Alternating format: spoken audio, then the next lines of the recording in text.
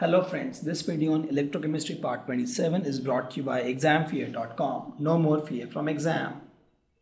Now we have seen electrolysis, right? We have seen it works. It works like magic. It helps to electroplate a substance. It helps to purify copper. It also helps to create replica of old monuments.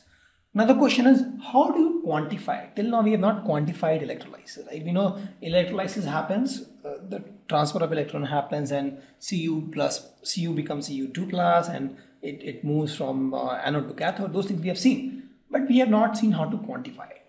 So to quantify, Michael Faraday, he was the first scientist who actually described the quantitative aspect of electrolysis. So he did exhaustive investigation on electrolytic solutions and he published his law in 1833 actually. 1833 he published his law in the form of Faraday's two law of electrolysis. In fact, there are two laws of electrolysis. Right? The first law is the amount of chemical reaction that occurs at any electrode during electrolysis by a current is proportional to the electricity passed through. That means amount of chemical reaction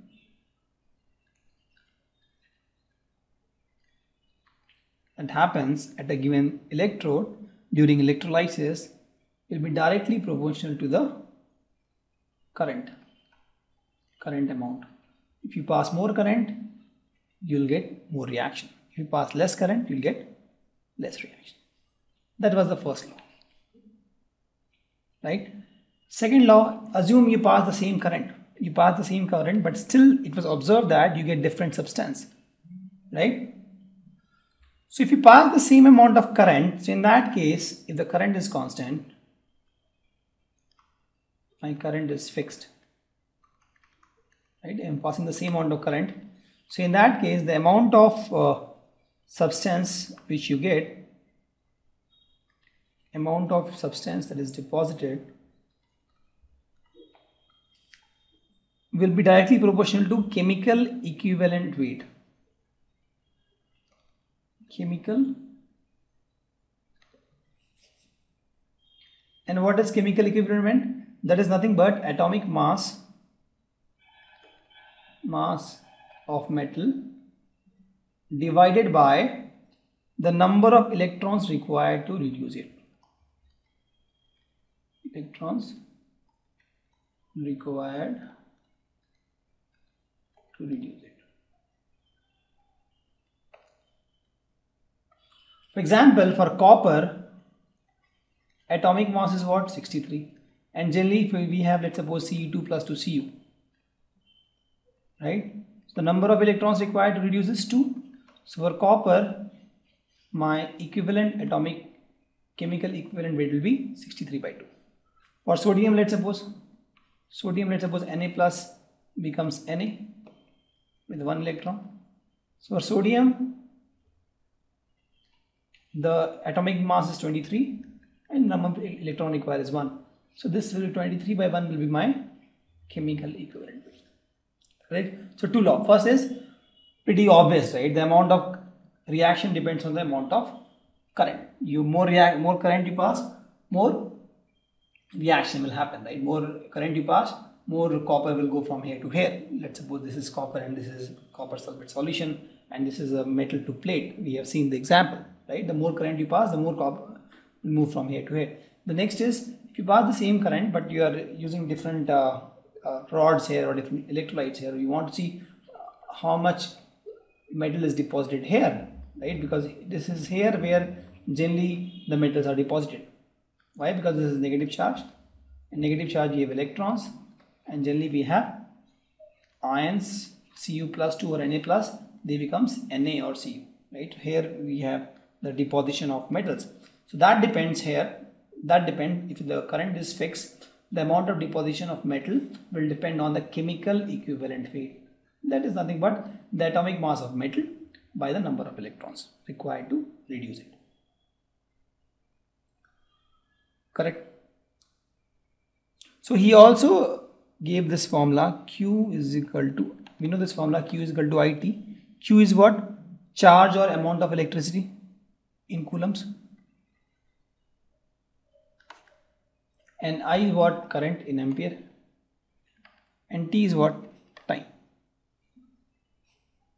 Correct? So amount of electricity or charge required for oxidation or reduction depends on the stoichiometry of the reaction for example I have X n plus and it takes 10 electrons and becomes X then I can say that n moles of electrons are required to reduce one atom of n plus. Please note this statement I can write that n electrons are required to reduce one atom of X. Correct? So if n electrons are required to reduce one atom of x so then what i can say? Then i can say that n into 6.023 into 10 to the power 23 electrons will be required to reduce one mole because one mole of x. Because one mole of x is nothing but 6 into uh, 6.023 into 10 to the power 23 atoms right? So n electrons required for one atom of x for this equation example in this case cu2 plus 2 electron gives you that means I can say that 2 electrons are required to reduce 1 atom of copper. Correct? Similarly, n electrons are required to reduce x uh, 1 atom of x. You multiply by 1 mole that means n into 6.023 electrons are required to reduce 1 mole of x. And 1 mole of x is nothing but you know that the atomic mass of x. Correct? This is nothing but atomic mass, so 1 mole of X. And if you see, if you this this many electrons are required now. Now, if I want to find how many charge this electron has, I know that one electron has one electron has 1.6021 into 10 to the power minus 19 coulomb charge. So these many electrons will have how many charge? So let's see there. charge in n into 6.023 into 10 to the power 23 electron is nothing but n into 6.023 into 10 to the power 23 into 1 electron that is 1.6021 into 10 to the power minus 19 coulomb. We saw this comes out to be n into 96487 coulomb. And this 96487 coulomb is nothing but 1 Faraday. So this is nothing but n Faraday. So this is this we have seen right 96487 is 1 coulomb. Uh, one uh, 96487 coulomb is 1 Faraday. So from this reaction I can say that this n Faraday charge is required for 1 mole of X. Correct? For this reaction, n Faraday of charge is required to reduce 1 mole of compound atom X. Hope you understand this. We quantified this. N Faraday charge is required to reduce 1 mole of.